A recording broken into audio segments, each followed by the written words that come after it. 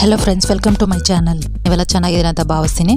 ಇದೇ ಥರ ಪ್ರೋತ್ಸಾಹ ಕೊಡ್ತಾಯಿರಿ ಲೈಕ್ಸು ಕಮೆಂಟು ಮಾಡ್ತಾಯಿರಿ ಸಿಂಪಲ್ ಈಸಿ ಗ್ರೇವಿ ಮಾಡೋಣ ಅಂದ್ಕೊಂಡಿದ್ದೀವಿ ಇದಕ್ಕೆ ಅರ್ಧ ಕೆ ಜಿ ಚಿಕನ್ ತೊಗೊಂಡಿದ್ದೀನಿ. ಉಪ್ಪು ಒಂದು ಟೀ ಸ್ಪೂನು ಖಾರದ ಪುಡಿ ಎರಡು ಟೀ ಅರಿಶಿನ ಒಂದು ಟೀ ಸ್ಪೂನು ಎಲ್ಲ ಹಾಕಿ ಕಲಿಸ್ಕೊಂಡು ಮ್ಯಾರಿನೇಟ್ ಮಾಡಿ ಸೈಡ್ಗೆ ಇಟ್ಕೋಬೇಕು. ತುಂಬ ಟೇಸ್ಟಿ ಚಿಕನ್ ಫ್ರೈ ಇದು. ಇನ್ನೂ ಹೊಸ ರೆಸಿಪಿಗಳಿಗೆ ಸಬ್ಸ್ಕ್ರೈಬ್ ಮಾಡ್ಕೊಳ್ಳಿ ಬೆಲ್ ಐಕನ್ ಪ್ರೆಸ್ ಮಾಡಿ ನೋಟಿಫಿಕೇಷನ್ ಆನ್ ಮಾಡ್ಕೊಳ್ಳಿ. ಮತ್ತು ಎಲ್ಲ ಮ್ಯಾರಿನೇಟ್ ಮಾಡಲಿಕ್ಕೆ ಎಲ್ಲ ಮಿಕ್ಸ್ ಮಾಡ್ಕೋಬೇಕು. ಚೆನ್ನಾಗಿ ಕಲಿಸ್ಕೋಬೇಕು. ಕಲಿಸ್ಕೊಂಡು ಬೇಕಾದರೆ ಸೋಡಾ ಹಾಕ್ಕೊಂಡು ಚೆನ್ನಾಗಿ ಮಿಕ್ಸ್ ಮಾಡ್ಕೋಬೇಕು. ಮಿಕ್ಸ್ ಮಾಡಿಕೊಂಡು ಒಂದು ಅರ್ಧ ಗಂಟೆ ಅಷ್ಟು ಸೈಡ್ಗೆ ಇಟ್ಕೋಬೋದು. ಇಲ್ಲ ಇಮಿಡಿಯೇಟ್ ಬೇಕಾದರೂ ಮಾಡ್ಕೋಬೋದು. ಅರ್ಧ ಗಂಟೆ ಸೈಡ್ಗೆ ಇಟ್ಕೊಂಡ್ರೆ ನಮಗೆ ಟೇಸ್ಟ್ ತುಂಬ ಚೆನ್ನಾಗಿರುತ್ತೆ ಚಿಕನ್ನು ಯಾಕಂದರೆ ಲೆಗ್ ಪೀಸ್ ಅಲ್ವಾ? ಸೊ ಉಪ್ಪು, ಖಾರ ಚೆನ್ನಾಗಿ ಹಿಡಿಯುತ್ತೆ. ತುಂಬ ಚೆನ್ನಾಗಿರುತ್ತೆ. ಎಲ್ಲನೂ ಟ್ರೈ ಮಾಡಬೇಕು. ತುಂಬ ಈಸಿ ಆ್ಯಂಡ್ ಸಿಂಪಲ್ಲು ಕಲಿಯೋರ್ಗಂತೂ ತುಂಬಾ ಚೆನ್ನಾಗಿರುತ್ತೆ. ಪ್ರಾಕ್ಟೀಸ್ ಮಾಡಲಿಕ್ಕೆ.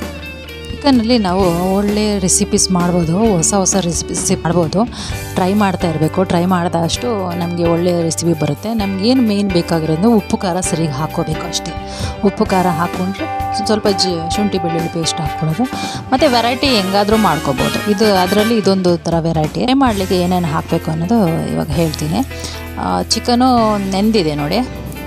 ಇದನ್ನು ಒಂದು ಪ್ಯಾನ್ ಇಟ್ಟು ಅದಕ್ಕೆ ಸ್ವಲ್ಪ ಎಣ್ಣೆ ಹಾಕಿ ಈ ಮ್ಯಾರಿನೇಟ್ ಮಾಡಿರೋ ಚಿಕನ್ನ ಅದರಲ್ಲಿ ಹಾಕ್ಕೊಂಡ್ಬಿಡಬೇಕು ಇವಾಗ ಇದು ಸ್ವಲ್ಪ ಹೊತ್ತು ಹಂಗೆ ಬಿಡಬೇಕು. ಎಣ್ಣೆಯಲ್ಲಿ ಫ್ರೈ ಆಗ್ತಾಯಿದೆ ಇದಕ್ಕೆ ಸ್ವಲ್ಪ ಖಾರದ ಪುಡಿ, ಮೊಸರು ಒಂದು ಕಪ್ಪು, ಮತ್ತು ಗರಂ ಮಸಾಲ ಎಲ್ಲ ಹಾಕ್ಕೊಂಡು ಸ್ವಲ್ಪ ಫ್ರೈ ಆಗಲಿ. ಶುಂಠಿ ಬೆಳ್ಳುಳ್ಳಿ ಪೇಸ್ಟು ಒಂದು ಕಾಲು ಸ್ಪೂನು, ಎಲ್ಲ ಚೆನ್ನಾಗಿ ಬಾಯ್ಲ್ ಆಗಬೇಕು. ಒಂದು ಇಪ್ಪತ್ತು ನಿಮಿಷ ಫ್ರೈ ಆಗಬೇಕು. ಸಿಮ್ಮಲ್ಲಿಟ್ಟು ಮಾಡಬೇಕು. ಈಗ ರೆಡಿ ಇದೆ ನೋಡಿ. ತುಂಬ tasty yummy chicken fry friends ಜೊತೆ ಶೇರ್ ಮಾಡ್ಕೊಳ್ಳಿ. Thank you